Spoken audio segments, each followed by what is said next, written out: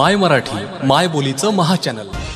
सदा नाम घोष करू हरी कथा तेने सदा चित्ता समाधान. सर्व सुख ल्यालो सर्व अलंकार आनंदे निर्भर डुलत असो. असो ऐसा कोठे आठवची नाही देहीची विदेही भोगू दशा. तुका म्हणे आम्ही तुका म्हणे आम्ही झालो अग्निरूप लागो निधी पाप पुण्यांगा. सर्व सुख ल्यालो सर्व अलंकार आनंदे निर्भर डुलत असो. विठ्ठल विठ्ठल विठ्ठल. विठ्ठल विठ्ठल. विठ्ठल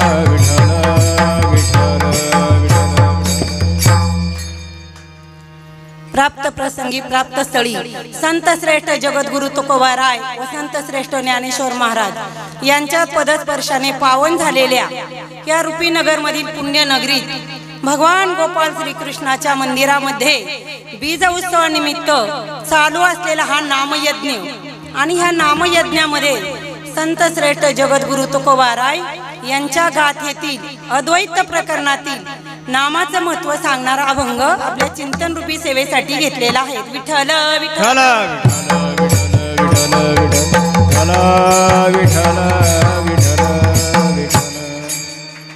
अभंग संत श्रेष्ठ जगद्गुरु तुकाराम महाराजांच्या गाथेतील अद्वैत प्रकरणातील नामाचं महत्त्व सांगणारा आहे. या अभंगामध्ये जगद्गुरु तुकोबारायांना नाम साधना केल्यामुळं जी अवस्था प्राप्त झाली त्या अवस्था प्राप्त झाल्यानंतर तुकाराम महाराजांच्या असं लक्षात आलं की अरे हे सर्वसामान्य जीव दुःखाने खूप व्याकुळ आहे.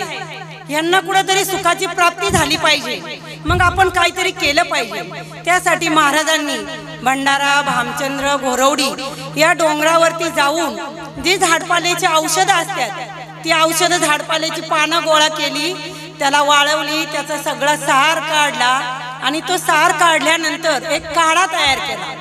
आणि त्या काढ्याला ब्रह्मरस काढा असं नाव दिलं. असं नाव दिल्यानंतर महाराजांनी देहू गावामध्ये मोठा दवाखाना उघडला. त्या दवाखान्यामध्ये महाराज प्रत्येकाला ब्रह्मरसाचा काढा आणि हरिनामाचं महत्त्व समजून सांगत होते. असेच महाराजांनी ज्यावेळेस दवाखाना सुरू केला त्यावेळेस दवाखान्यामध्ये चार पेशंट आले बघा. तर पहिला जो पेशंट होता ना तो एल एल बी झालेला यंग म्हणजे पस्तीस वर्षाचा युवक होता. तो पहिला प्रथम आला आणि म्हणाला महाराज जय हरी. महाराज म्हणले जय हरी. म्हणले अहो मी तुमच्याकडे आलो माझं एक काम आहे. महाराज म्हणले बोला ना काय काम आहे? म्हणले अहो मी डॉक्टर झालो वकील डॉक्टर की तुम्हाला यश नाही आलं. मी डॉक्टर की सोडून दिली. माझं काय त्याला डोकं चाललं नाही. मी वकिलीचा अभ्यास केला. आता मी वकील झालो. वकिलीची परीक्षा पास केली. माझं लग्न झालं. बायको आहे मुलगा आहे. पण मला शांतचित्तेने झोप लागत नाही ओ महाराज. तुमच्या दवाखान्यात काय औषध आहे का? तुकाराम महाराज म्हणले हो आहे ना. माझ्या दवाखान्यामध्ये औषध आहे. काय औषध आहे? कामामध्ये काम. काही म्हणा राम. तुम्ही काम करणार ना त्यावेळेस फक्त राम राम म्हणा. त्या रामनामाचं तुम्ही काय करा? चिंतन करा. तो वकील होता तो म्हणला महाराज अहो काय बोलता? राम राम म्हणल्याने कुठं नोकरी लागणार आहे का? किंवा राम राम म्हणल्याने मला पगार भेटणार आहे का? किंवा राम राम जर म्हटल्याने माझं जर सगळं भागत असतं तर मी एवढ्या मग परीक्षाच दिल्या नसत्या. तर महाराज म्हणले तो काय होतं? अति शिकलेला माणूस असला ना ते परमार्थिक लोकांना जरा येड्यात काढतात महाराज म्हणले थांब जरा. तेवढ्यात बाहेरून आवाज आला बुवा ओ बुवा. महाराजांना तो आवाज जरा ओळखीचा वाटला. मग त्या युवकाला काय म्हणले बाबा तू थांब. कारण लई शिकलेला असला ना तो वार करायला इतका गुळून गुळून विचारतून वेड्यात काढतात महाराज म्हणले तू थांब मला जरा दुसरा पेशंट बघू दे. महाराज पटकन उठले त्याच्यापासून आणि दवाखान्याच्या बाहेर आले. बाहेर ज्या वेळेस आले तर ते औषध घ्यायला जो पेशंट आला होता ना ते एकदम म्हातारे वयस्कर बाबा होते. त्यांना पाहिलं महाराज पटापटा चालत गेले. म्हणले बाबा तुम्ही कशाला यायची तस्ती केली? मी आलो असतो दवाखान्यापर्यंत. आणि हे वाक्य बघा कुणाच्या मुखातून बाहेर पडतं माहितीये का? नम्र झाला भूता तेने कोंडिले अनंता.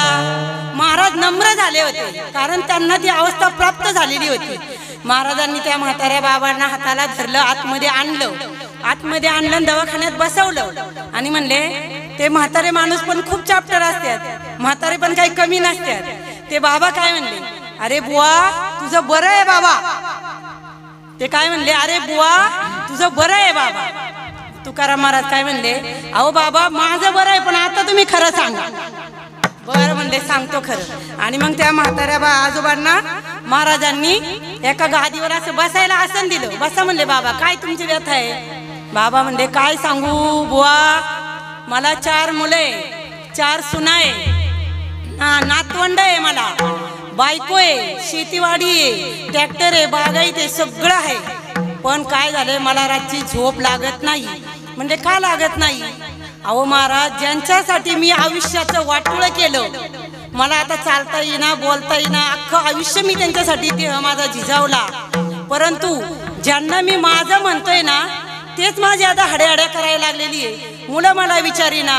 माझी बायको सुद्धा म्हणते म्हातारा उगाच ताप देतो एका जाग्यावर गाडायचं तर. मी करू काय? जसा पाण्यातून मासा बाहेर काढाव ना तसा माझा जीव म्हणला तरफडतोय मग तुमच्या दवाखान्यामध्ये बुवा काय औषध आहे का? तर तुकाराम महाराज म्हणले हो आहे ना औषध. पण मी सांगतो ते करा. हरी लग्न झाल्यावर स्त्री नवऱ्याच्या नावाचं कुंकू कपडाला लावते.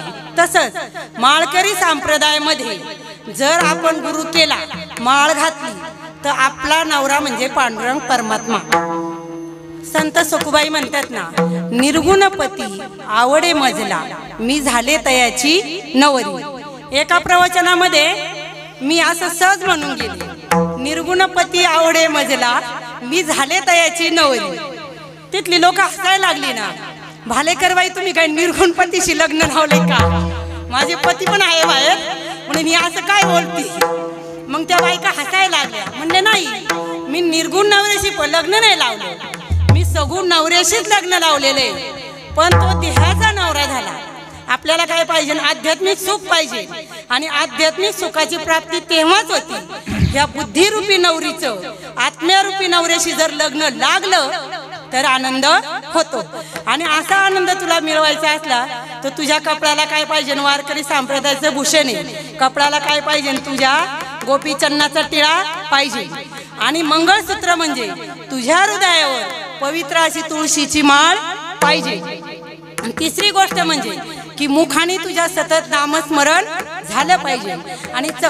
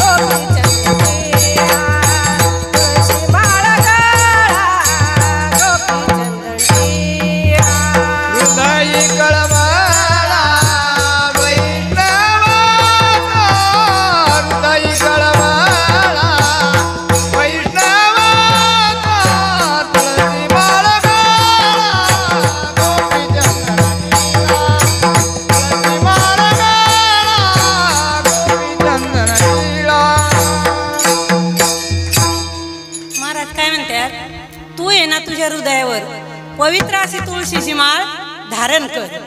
मुखानी नामस्मरण कर. हाताने टाळी वाजे. आणि जोपर्यंत हातपाय चांगले आहेत तोपर्यंत तू काय कर? तीर्थयात्रा कर. एकदा का तू जागेवर बसला की तुला काही होणार नाही.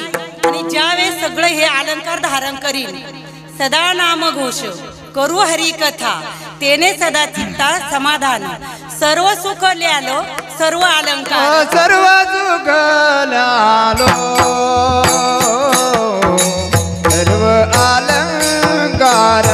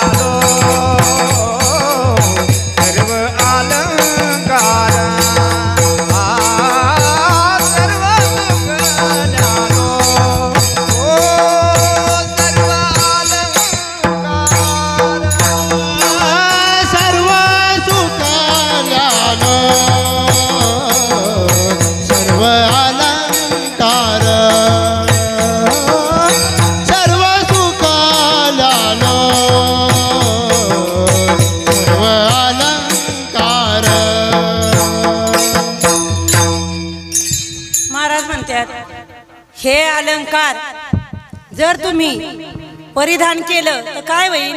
तुमच्या चित्ताला समाधान लागल सुख लागल शांती लागल आणि तुम्हाला परमानंदाची प्राप्ती करून घेता येईल. ह्या देहामध्ये तुम्हाला हे सगळं करता येईल अन्य दुसऱ्या युनीमध्ये करता येणार नाही. म्हणून तुम्ही काय करा सदा नामघोष करू हरिकथा. तेने सदा चित्ता समाधान. तुझ्या चित्ताला जर समाधान बाबा वा- पाहिजे असेल तर तू काय करायला पाहिजे? तू सतत नामस्मरण केलं पाहिजे. आणि ते नामस्मरण केल्यानंतर तुला जो आनंद व्यक्त होईल तो आनंद म्हणले शब्दात सांगता येणार नाही. मग तो पहिला जो पेशंट होता तो एल एल बी झालेला सर्वप्रथम जो आला आपल्याला पेशंट घ्यायच्यात हे चौघ जण म्हणजे आपण पण त्यात मोडतो. मग तो पहिला मुलगा होता वकील. त्याला खूप राग आला. ओ महाराज तुमचं हे थोतांड बंद करा म्हणला थोतांड महाराज म्हणले का रे बाबा काय झालं? अहो म्हणला चौघांना चार प्रकारचे रोग झाले. आणि तुम्ही काय सांगता? सगळ्यावर फक्त नामस्मरण करा नामस्मरण करा. रामकृष्ण हरी म्हणा हरी हरी म्हणा. अरे अनेक प्रकारचे रोग आणि तुम्ही एकच औषध कसं सांगता? म्हणले अरे बाबा रोग जरी अनेक प्रकारचे असले पण सगळ्या रोगाचं निदान शेवटला काय आहे? हा म्हणतो सुख नाही तो म्हणतो चित्ताला समाधान नाही तो म्हणतो साधना होत नाही किंवा म्हातारा म्हणतो मला कुणी माझं म्हणत नाही. मग म्हणले असं काय चुकलं आमचं? म्हणले तुझं काय चुकलं? तुला तुझ्या पैशाच्या गर्वामुळे तुला नामस्मरण करायची गरज नाही. आणि जो पंडित आहे म्हणला त्या पंडिताला काय वाटतं? मला सगळं येते मला करायची गरज नाही. आता आपण सगळे इथं भजनी मंडळ आहे सगळे टाळकरी वगैरे एखाद्या जर महिलाला आपण म्हणलो की अभंग घ्या. किंवा मलाच म्हणतात बरे बऱ्याच वेळेस. मला करता तुम्ही अभंग वाजवा पण पीटीवर जर सराव नाही झाला तर अभंग वाजवता येईल का? नाही. त्याच्यासाठी काय करावं लागेल? सराव करावा लागेल. पीटी असून उपयोग नाही. त्याची प्रॅक्टिस झाली पाहिजे. त्याची तेवढी साधना झाली पाहिजे. तेव्हा आपल्याला जमत बरं आता तिसरा पेशंट होते बाबा. मग तो एल बी झाला डॉक्टर म्हणला बाबांचा काय प्रॉब्लेम आहे? त्यांना म्हातारपणाला हरी हरी म्हणाय सांगता. म्हणजे बाबांचा असा प्रॉब्लेम आहे बाळा की बाबांनी काय केलं? आयुष्यभर फक्त कष्ट. मी माझ मी आणि माझ बायकां मुलं ह्याच्यात बाबा इतके गडून गेले इतके गडून गेले की त्यांना त्या परमार्थाची काही चाड राहिली नाही. नामस्मरण करायचा वेळ भेटला नाही. बाबांनी काय केलं? जे करायचं होतं ते केलं नाही. आणि जे नको करायचं ते करायला पाहिजे. मग तो एल एल बी झालेला हुशार होता. मग म्हटलं नक्की बाबांनी काय करायला पाहिजे होतं? तर महाराज म्हणले बाबांनी काय करायला पाहिजे माहिती आहे का? आपुला तो एक देव करून घ्यावा.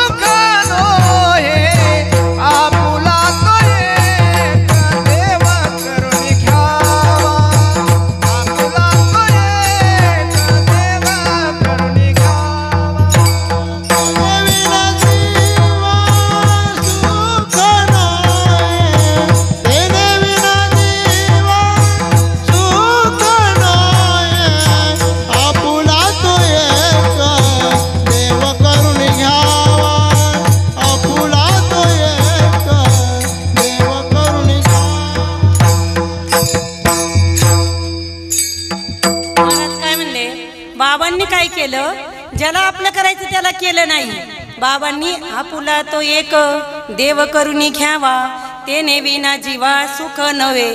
एरती माईक दुःखाची जनिती अविनाश.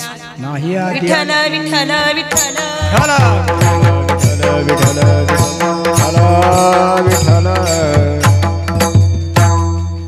महाराज म्हणले बाबांनी देव आपला करायला पाहिजे नव्हता पण तो बाबांनी आपला देव केला नाही.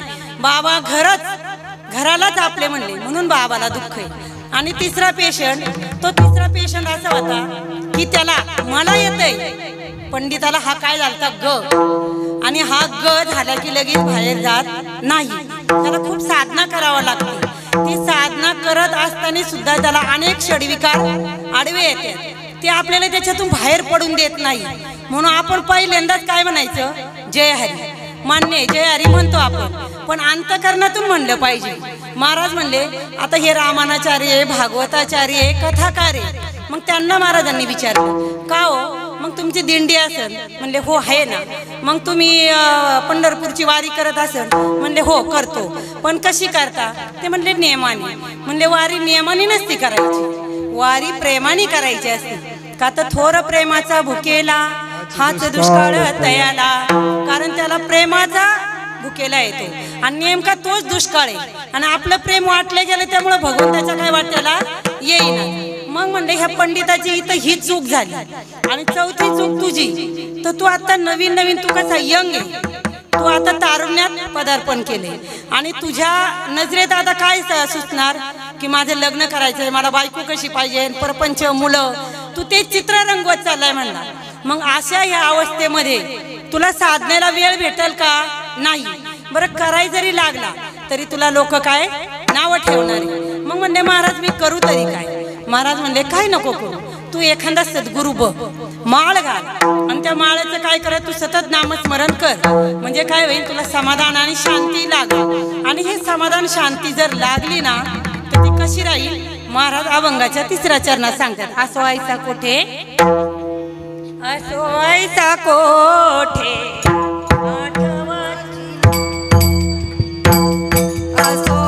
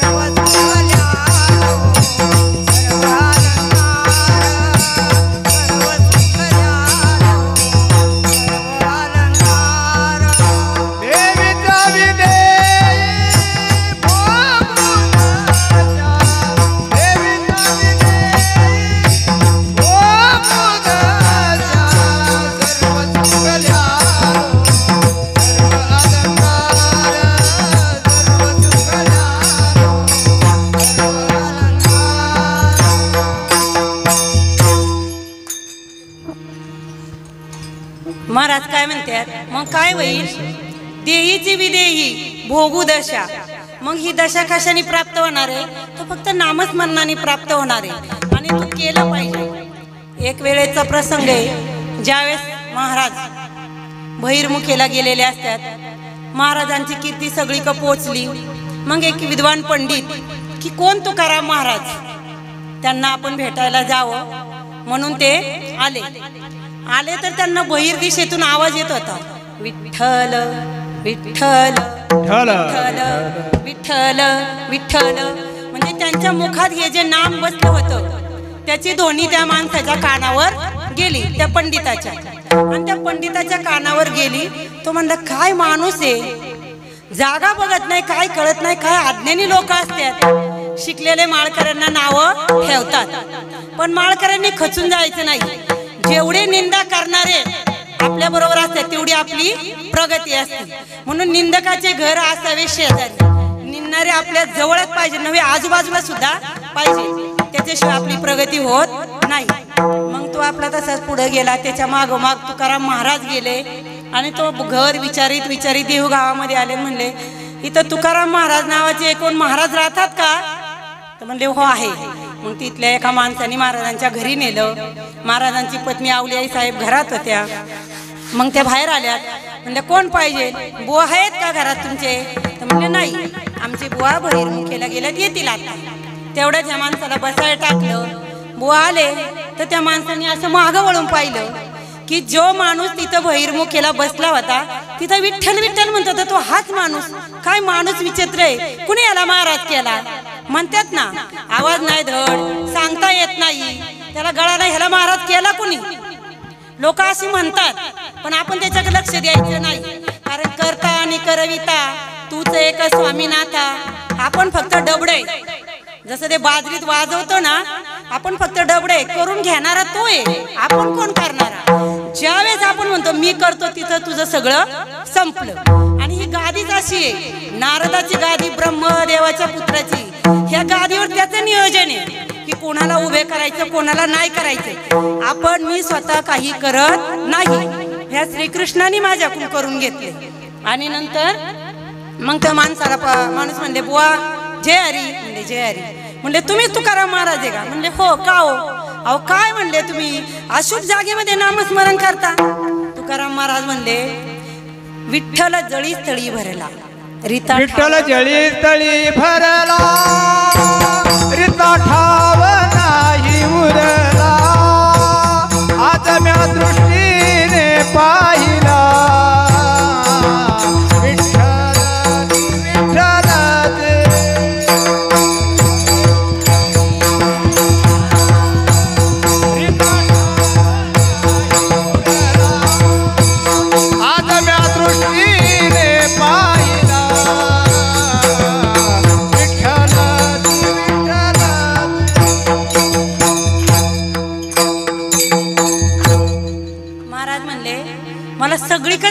दिसतो. ते नामच कसं आहे पवित्र आहे. त्याला काय शुभ अशुभाची काही गरज नाही. फक्त तुम्ही कुठल्या भावनेने कुठल्या साधनेने कुठल्या हेतूने आणि कुठल्या विचाराने आणि किती प्रेमाने करता. महाराज म्हणजे ह्याला महत्त्व आहे. कारण तो काय करतो? अंतरीची गुढी घेतो. का तर तो भावाचा भुकेला असतो. म्हणजे तुम्ही म्हणता ह्या जागेवर करायचं नाही. माझी मदत झाली अनावरवाच्या. छंद या नामाचा घेतला. मी काय करू? माझी वाचा अनावर झाली. पंडिताला राग आला. म्हणला काय हा बुवा उर्मटे माझ्या प्रश्नाची उलट उत्तर देतो. मी पंडित ज्ञानी असून. का तर पंडिताला काय झालेला असतो? ग झालेला असतो. म्हणजे महाराज तुम्ही काय म्हणता? तुमची वाचा तुम्हाला अनावर झाली? म्हणजे हो माझी वाचा अनावर झाली. त्याला राग आला आणि तुकाराम महाराजांची जीभ दाबून धरली. कारण जे लोक शिकलेले ज्ञानी असतात ना का त्यातला अहंकार इतका फोपवतो की ते काय करतील त्याचा भरवसा नाही. आणि ज्या वेळेस त्या सा माणसाने महाराजांची जीभ धरली. तर महाराजांच्या रोमा रोमातून विठ्ठल विठ्ठल विठ्ठल असा ध्वनी प्रगट झाला. नवे नवे त्याच्या हाताला सुद्धा करंट आणि मुंग्या यायला लागल्या. जसं आपण लाईटीमध्ये पिन पोचतो ना तसं त्या हाताला करंट असा झटका आला बदकन पडला. पडला तसा तो जागेवर बेशुद्ध झाला. मग आवलियाई साहेब घाबरल्या. अहो बुवा काय झालं? अहो बुवा काय झालं? तुम्हाला काहीच कसं कळा ना काय केलं त्या माणसाला? काय केलं त्या माणसाला? आवलियाई साहेब घाबरल्या. बुवा म्हणले आवले काय नाही केलं? तू आज जा थोडं पाणी आहे आणि तिच्या अंगावर सिपड. हे मी काही केलं नाही. करता आणि करविता तूच एक स्वामीनाथा. मी काही केलं नाही आवलं. पाणी आणलं. त्या माणसाच्या अंगावर सिपडलं. तर तो तटकन जागा झाला. जागा झाला तसाच घालीन लोटांगण वरती चरण. पाहिलं तुझे त्यांनी काय केलं? महाराजांचे डायरेक्ट चरण पकडले. आणि म्हणले बुवा माझी चूक झाली. मला माफ करा. मी तुम्हाला ओळखू शकलो नाही. मला माफ करा. बुवा म्हणले तुमची काही चूक झाली नाही. तर पांडुरंगच माझ्याकडून परीक्षा घेते. उठा तुम्ही. लय लांबून आले. आवले त्यांना पाणी दे.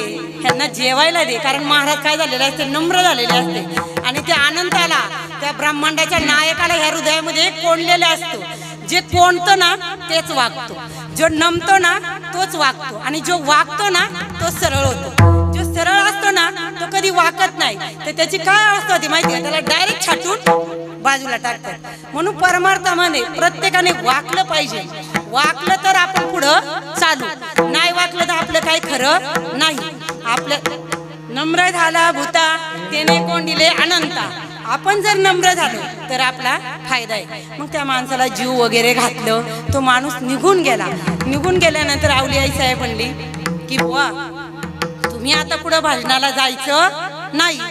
ते का गावली अहो मला काल राडा सांगावा आला की पुण्याहून माझा भाऊ येणार आहे. आता काय माहिती प्रत्येक महिलांना माहेर इतकं प्रिय असतं. मी पण एक महिला आहे मला पण खूप प्रिय आहे. माझी भाऊजाई आलेली आहे. मलाही वाटायचं माझी भाऊजाई टी व्हीवर दिसावी.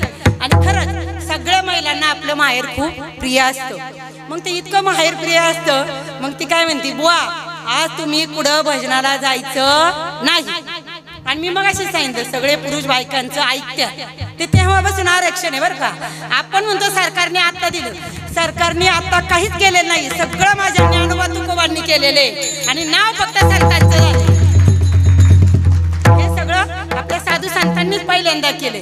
म्हणले बर आवले मी नाही जात.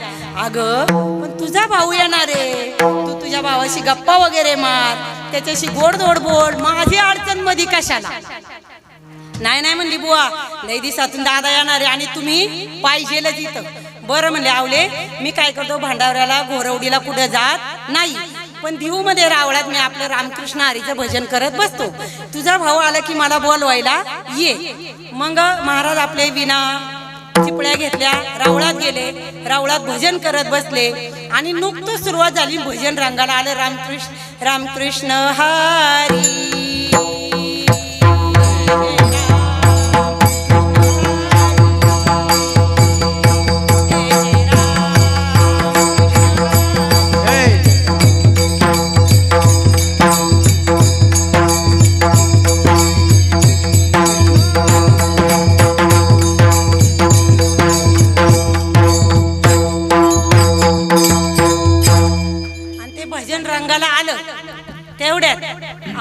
साहेबांचा भाऊ आला.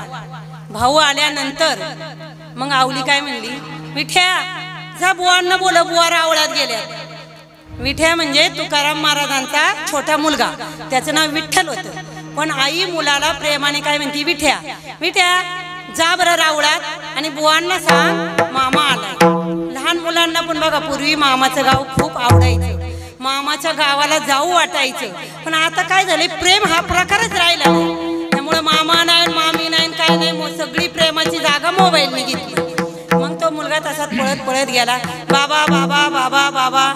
मग तुकाराम महाराज म्हणले अरे विठ्ठल काय झालं? अरे विठ्ठल काय झालं? मामा आलाय तुम्हाला बोलावले मामा आलाय तुम्हाला बोलावले मामा आलाय तुम्हाला बोलावले तो काय थांबा महाराजांनी भोजन बंद केलं आणि म्हणले विठ्ठल तू हो पुढं. मी आलोच. मामांना आईला म्हणा तो हातपाय धू. आईने स्वयंपाक वगैरे केला असं जेवायला घालून सुरुवात कर. बर मग विठ्ठल घरी आला. म्हणलं आई बाबा येते तर तू पानं करायला सांगितलं. निरोप आदल्या दिवशी आवली आई साहेबांना आला होता की भाऊ येणार आहे. त्या सकाळच्या पारी उठल्या साडा सारवजन केलं आणि चुलीवर भाऊ येणार म्हणून मोठा गोडा धोडाचा बेत केला पुरणपोळीचा स्वयंपाक केला. पण भाऊ यायच्या नादात आवली आई साहेब भारावून गेल्या. लई दिवसातून माझा दादा येणार लई दिवसातून माझा दादा येणार. मग आवली आई साहेबांनी काय केलं? त्यांच्या हाताने चुकून आमटीत भातात भज्यात मीठ टाकायचं विसरून गेलं. आणि त्या नादामध्ये मग मीठ टाकायचं विसरून गेलं स्वयंपाक वगैरे झाला पानं वाढली सगळ्यांना जेवाय बसवलं. पण तुकाराम महाराज कसे ते विधी स्थितीत होते. ते पण आले हातपाय धुतले दोघांना पानं केली. महाराजांनी आपला विना वगैरे ठेवला चिपळ्या ठेवल्या. आणि मस्त दोन पोळ्या आमटी भात असं रगडून महाराजांनी जेवण केलं. कारण जेवण करताना ते काय म्हणतात? पांडुरंग हरी वा देव हरी. महाराजांनी पहिला घाट टाकला आणि पांडुरंगाचं नाव घेतलं. सगळं जेवण इतकं रुचकर आणि गोड झालं. महाराजांनी सगळं ताट खाल्लं. आणि पूर्वी बघा असा नियम होता. आता आहे का नाही मला माहीत नाही. आता आमच्या घरात आहे फक्त माझ्या पतीला आवडत मुलांना आवडत नाही. काय नियम? की वाटीमध्ये आमटी घ्यायची. आमटीत भात टाकायचा. आपण नुसता ताटा नाही. आणि मग त्या आमटीत लिंबू पिळायचं तो भात पहिला प्रथम खायचा. आता पोरांना तसं आवडत नाही ते दूध पोळी खातात पण पूर्वीचे भाऊ खायचे ना असे. आणि मग ते तसं खायला सुरुवात केली. पहिला घास आवलीच्या भावाने खायला सुरुवात केली तर आळणी लागली. बरं पूर्वी लोक कशी होती? मर्जीवाईक होती. आदर पाळत होती. आता काही तसलं राहिलेलं नाही. मग आता बुवांचं तर सगळं जीवन झालं. आता मी म्हणू कसं? ताई मला मी दे. काही बोलले नाही. बळ बळ एक पोळी कशी तरी खाली आवली आई साहेब त्यांच्याकडे बघते दादा का रे जेवला नाही? तुला स्वयंपाक आवडला का नाही दादा? अरे दादा मी तुझ्यासाठी प्रेमाने स्वयंपाक केलाय दादा. तुला आवडला नाही का? नाही म्हणले. आवली ताई तुला दाजींना सर्वांना बघून माझं पोट इतकं भरलंय की माझी खायची काही इच्छा राहिली नाही. मला नको माझं पोटभर जेवण झालंय. मग महाराजांनी हात धुतला. मग ते बाहेर जाऊन गप्पा वगैरे मारत बसले. आणि गप्पा मारताना नंतर आवली साहेबांनी जे आई आवली आई साहेबांनी जेवायला घेतलं. जेवाय घेतलं पहिलाच भाताचा खास खाला तर जेवण सगळं आळणी लागलं. तसाच तो घास खाली टाकला आणि तड तड मात घरात बाहेर आल्या. बुवा! बुवांचं लक्ष नाही बुवा! थाप मारा. बुवा! अगं आवली आई साहेब काय झालं? अगं काय झालं म्हणून काय विचारता तुम्ही बुवा? सगळं आळणी. तुमच्यामुळे माझा भाऊ उपाशी राहिला. तुमच्यामुळे माझा भाऊ जेवला नाही. तुम्हाला त्या काळे त्यांनी पार येडं केलंय. तुम्हाला बायको दिसाना तुम्हाला मूल दिसाना तुम्हाला पोरं दिसाना गणगोत दिसाना मेवणं पण दिसाना.